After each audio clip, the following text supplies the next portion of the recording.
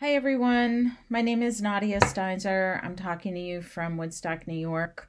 Um, I'm the manager of Earthworks Community Empowerment Project, um, which uses a lot of different tools to expose and document uh, what the oil and gas industry is doing to harm people in the climate and to look forward to what we can change. These are really difficult times with the coronavirus sweeping through and shutting down our towns.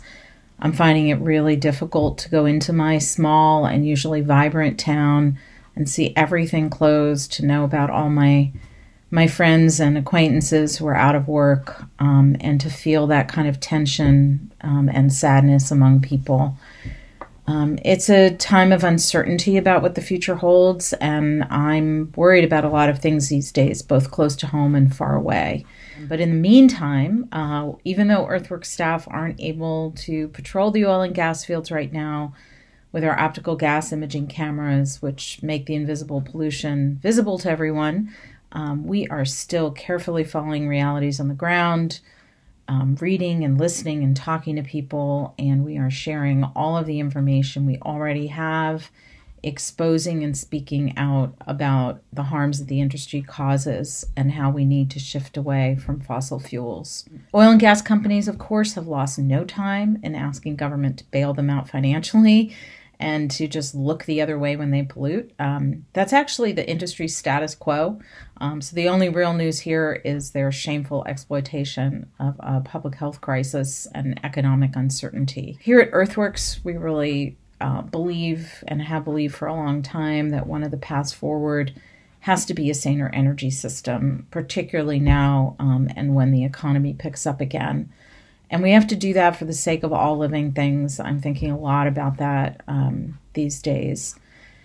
So, we're going to do our part during this time um, to make sure that operators don't get a free ride at the expense of health and the climate.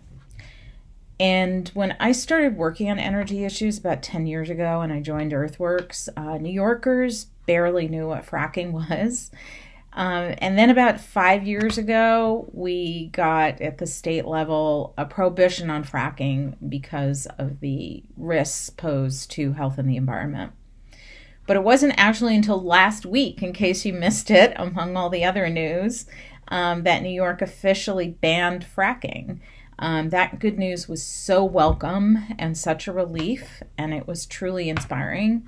Um, it really showed that if people keep fighting and just keep persisting over time, change really does happen. And I was, as a New Yorker and as somebody who works on fracking, just really excited um, to that that happened. Um, so this is a truly historic time.